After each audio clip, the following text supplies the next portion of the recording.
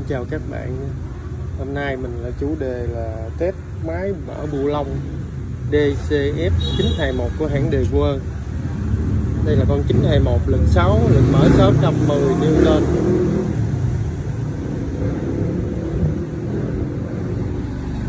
thì ờ, trong xe máy mình quan tâm tới lực mở thôi. Lực siết thì tất cả những cái lực siết vô là cỡ tầm 200 Newton thì những con máy bình thường đã đáp ứng ra rồi thì à, mình chú ý cái lực mở để những con ốc cứng mình có thể mở được ra hay không.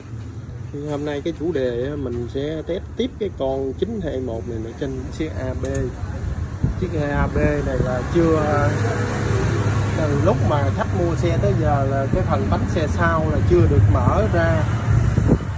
Thì hôm nay mình sẽ là người mở ra đầu tiên. Tiếp sau đó mình sẽ quay vô đây là những cái con ốc chưa có dấu mở nè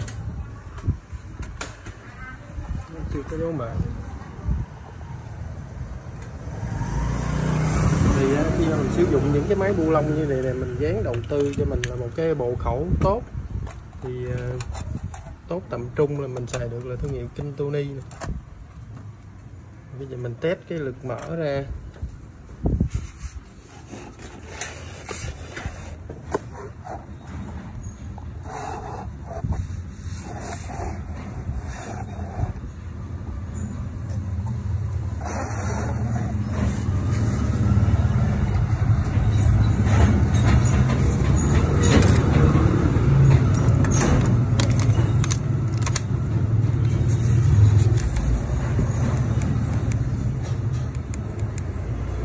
để đây là số 2 số cao nhất.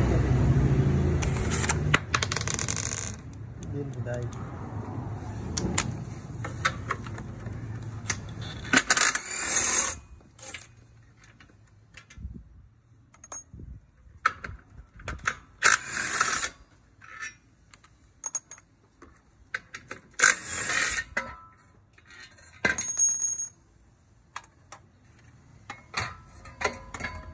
cây bô mình đã mở ra được cây bô đây nè đây là thương hiệu kinh tony mình xài một bộ tiếp kinh tony mình xài rất là bền.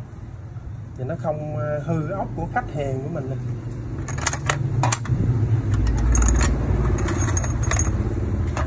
hai con ốc 14 tại sao mình để một cái tóc mà tóc cao nhất đây, đây trong xe máy mình ờ, mình để cho mình đi tóc thẳng trên cò thì nó lẹ hơn chứ không phải là mỗi lần mình thao tác mình nhấn nhấn nhấn dưới đây thì nó rất là chậm. Thật ra mình cứ để tóc cao, mình tập cái điều tóc trên cò này làm sao cho nó thích hợp ở cái mọi cái chế độ của mình là mình làm rất, công việc rất là nhanh. Rồi, bây giờ là con ốc mà mọi người quan tâm nhất nè. Về vô nè. Con ốc này chưa có dấu mở nha, mình đảm bảo luôn, chưa có dấu mở đó mình bắn nè. Giờ mình sử dụng bóp hết này,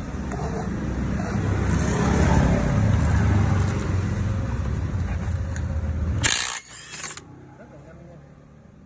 Thật ra cái lực mở này mình mình sử dụng rất là nhiều máy bu lông của tất cả các hãng nè.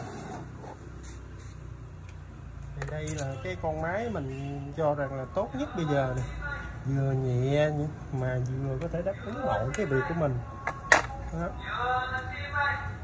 Đó, thậm chí nó nhỏ còn con hơn 285 đây là con 285 hàng của Nhật mình mua mới nè. Nhỏ hơn nhiều đừng coi nè. Nhỏ hơn rất là nhiều con 285 đây là cái con AEG này đó là lực ừ, 6 680 Newton nè. Nó bự. Nó rất là nặng nha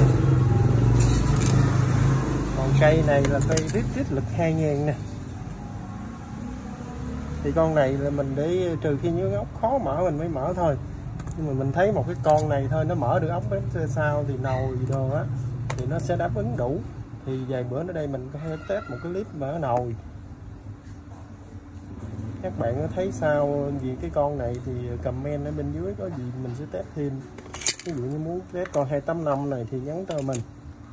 285 bây giờ thì máy mới nó ra là cái mẫu Makita 300 thay thế cho hai con 285 này. Đây là con ER đây là con Ritit này nó cũng xài chung với hãng ER